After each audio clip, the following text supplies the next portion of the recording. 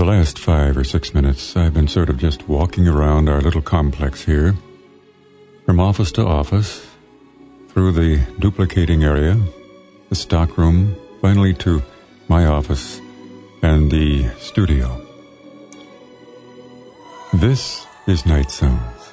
I'm Bill Pearce.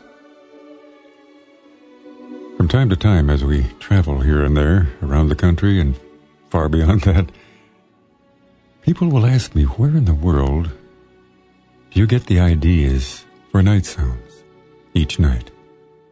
What kind of an operation is that anyway? How many people are there with you?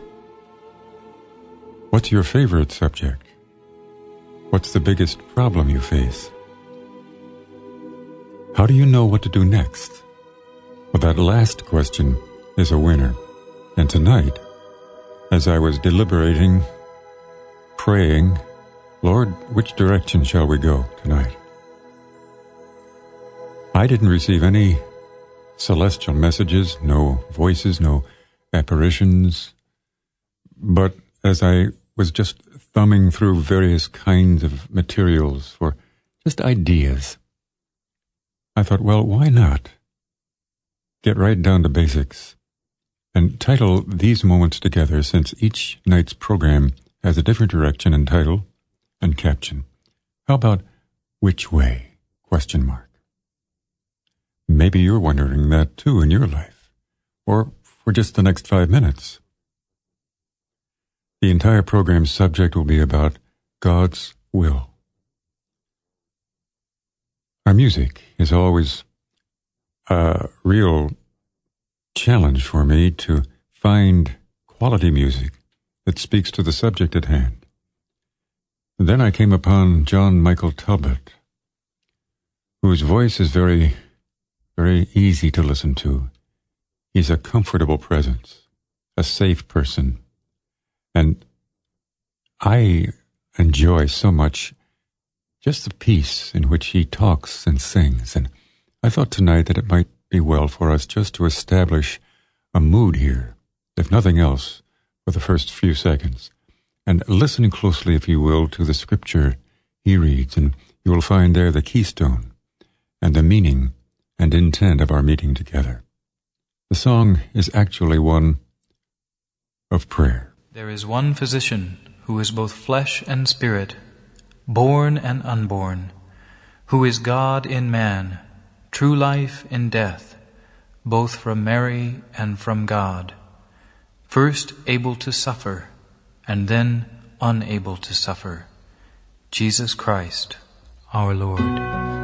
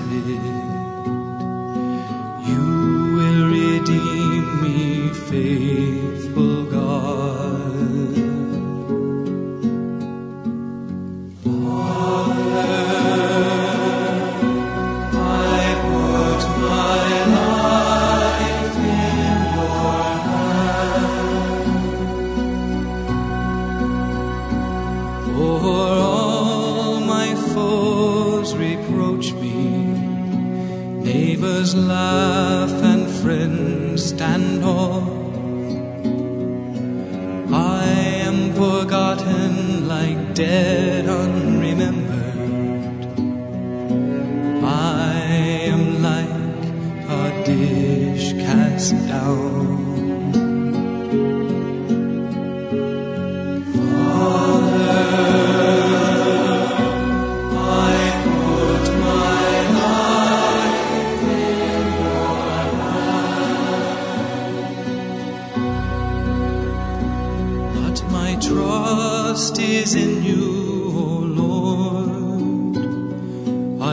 You are my God. Into your hands I place my future.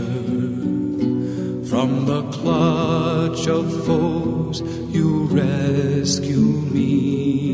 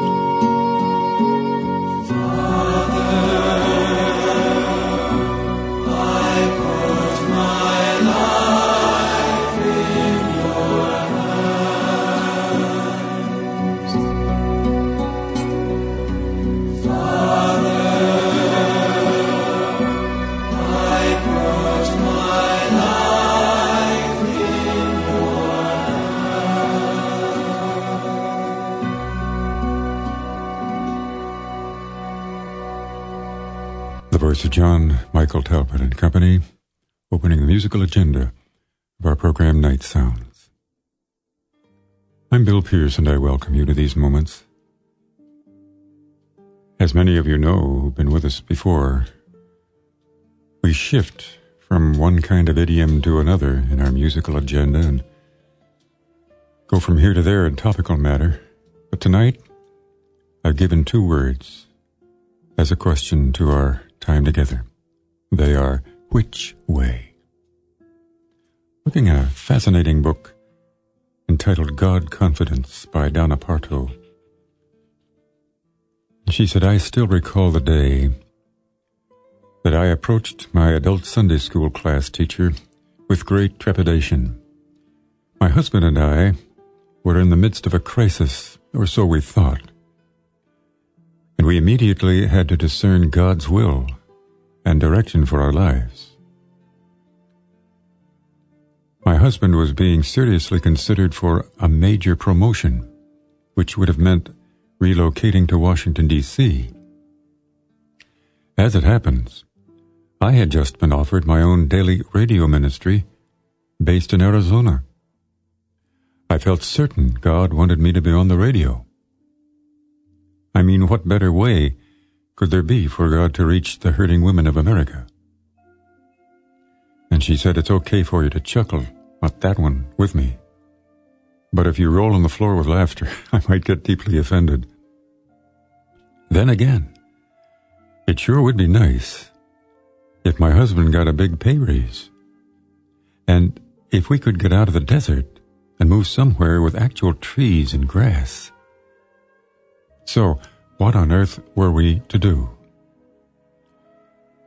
And Donna went on to say, as I stood there, wringing my hands, clearly ridden with anxiety, my teacher looked at me and said calmly, You know, God's will is not a crisis.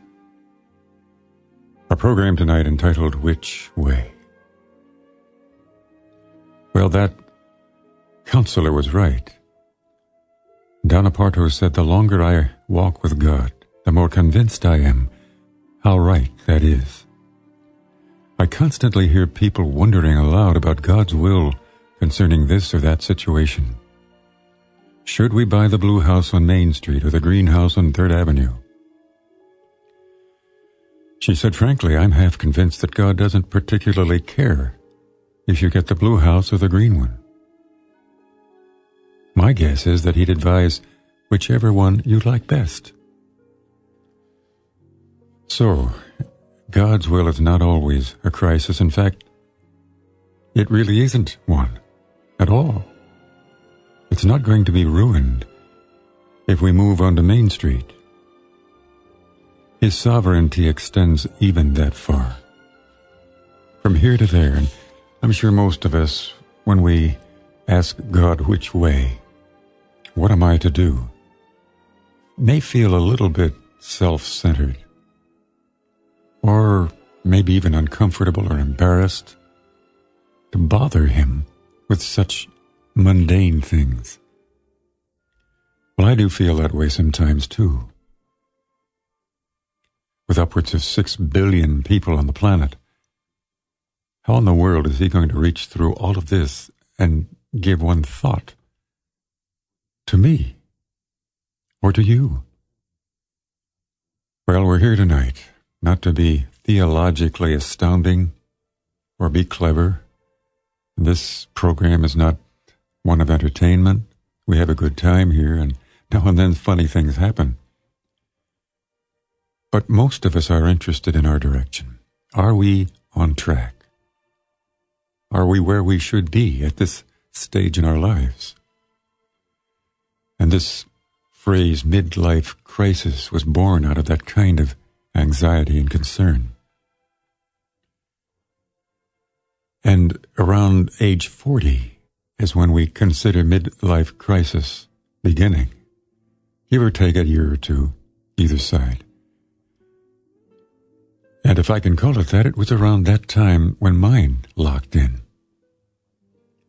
I considered my life to that point a pretty much of a loss.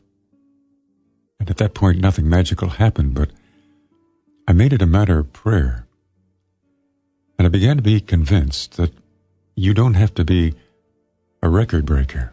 You don't have to outdo everybody else. You don't have to be first in everything. But at least you can strive for excellence. And this is what I did.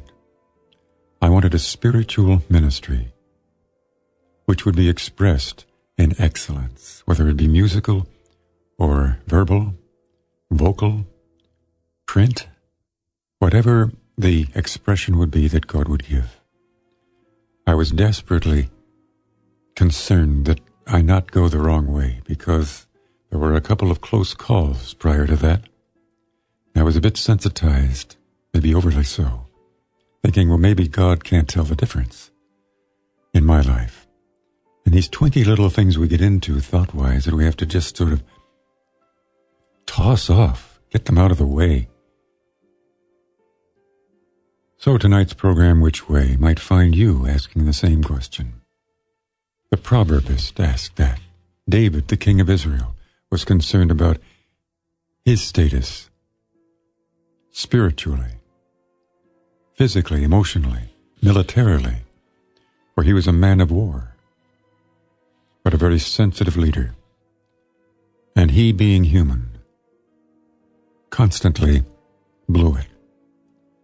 But he was deeply repentant, and he was so transparent before God, and so readable as to his intent, which was to worship and please the God of his heart. So God considered him a man after his own heart. I would like to be thought of by God in that category. At least make it on the list. And tonight's program, seriously, as we think of, of God's will for our lives. Let's just lock in for a moment, personally.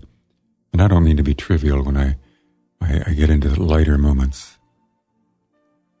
But you know, it's so it's so human. We get too super spiritual, as if God doesn't exist, and we start calling on our talents and resources and people and who knows what all for source material. I pick this material up from the strangest places sometimes. As I run, I might see something in the animal kingdom that, that interests me a squirrel being chased by a cat or dog or some bird with an interesting call. And if we run in the woods, we'll see the little chipmunks and squirrels and maybe even a groundhog or a raccoon or two scurrying for distance from this being coming through the woods, their woods. Ruth Martindale had a book called Poems from the Heart. And she wrote, I could sooner do without the sun, the moon, or stars that shine. I could sooner do without them all than have you not as mine. I could sooner do without the joy of eyes with which to see than have thee not as Saviour and know your love for me.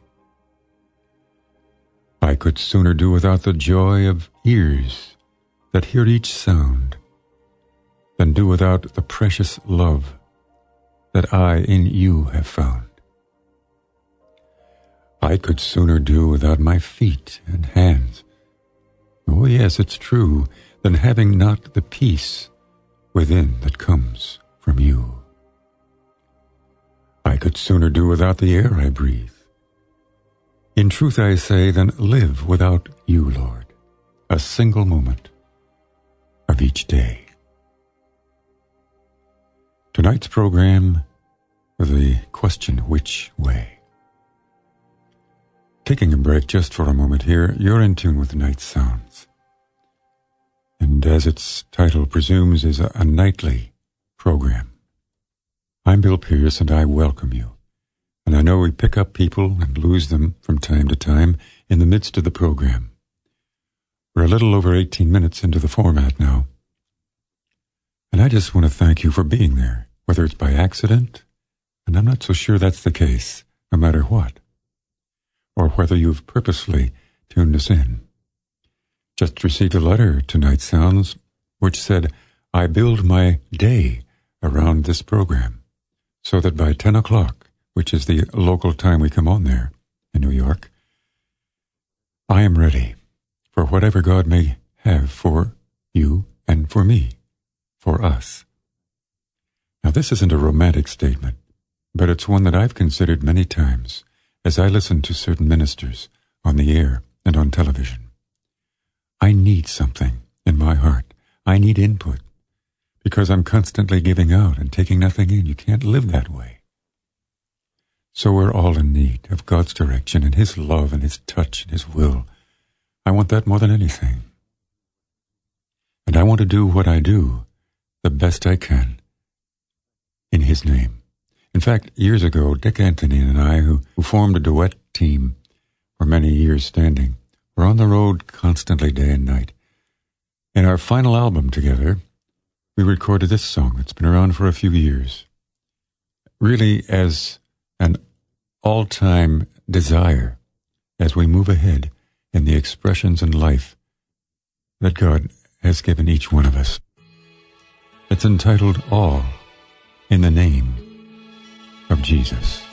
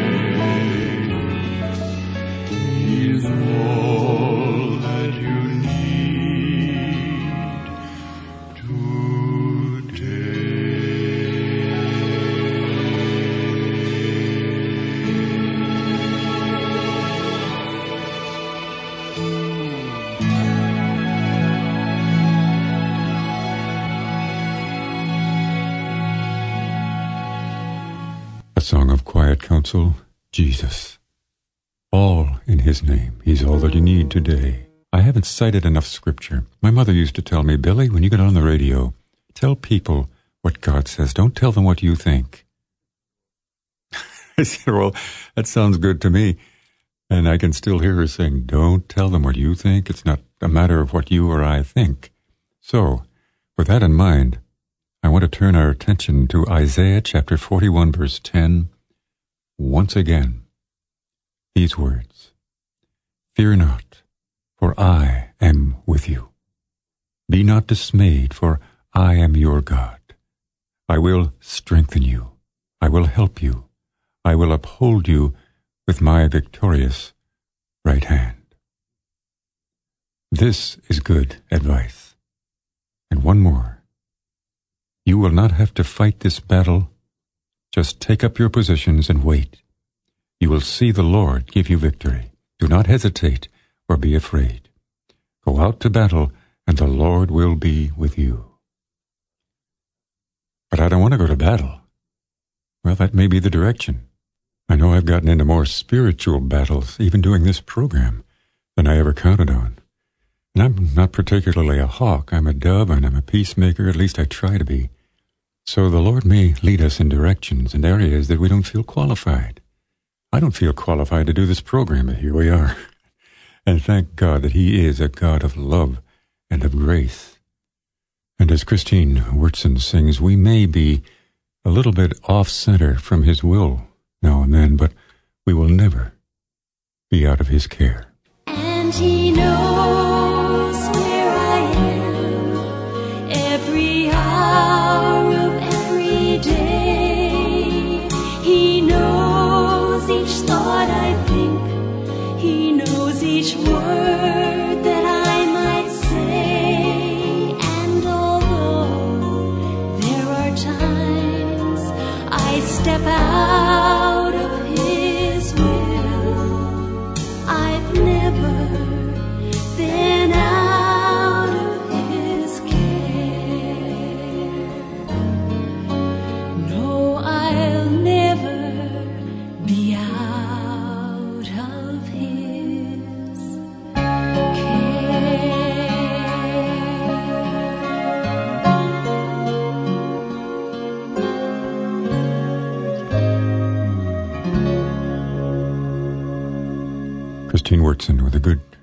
piece reminder to us we're never out of his care.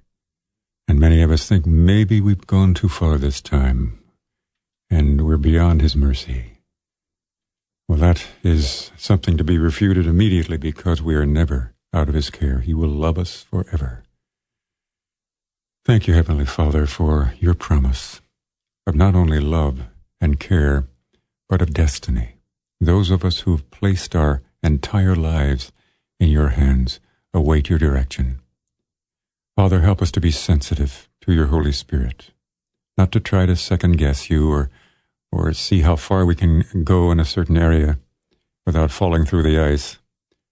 Father, we just need you in our hearts and lives, our minds, and as we plan even for tomorrow. We just pray that you will be in the very center of our thoughts. And it may be that we don't understand exactly where we're going when we take that first step, but you have promised to be with us all the way. And this problem that we face will pass. Thank you so much for being with us tonight, and I just pray for your will to be known by that concerned person that he or she right now, looking up to you for direction, will be willing to take even that one baby step at a time. May we just hold on with all of our hearts and strength to you for this next step. Thank you for your promises. In the name of our Savior, we pray. Amen.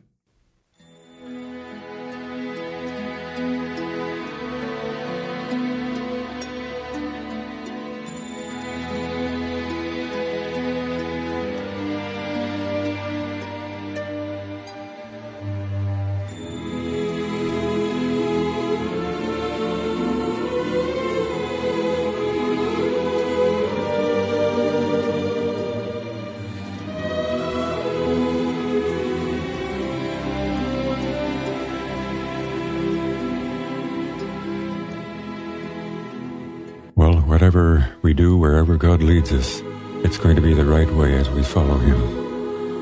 One more scripture verse before we leave you. 1 John chapter 5 verses 4 and 5. A promise.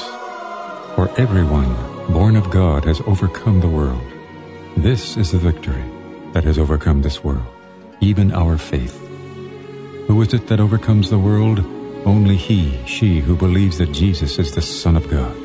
So be it. Till we meet again, thank you. God bless you, and a pleasant and peaceful good night to all of you.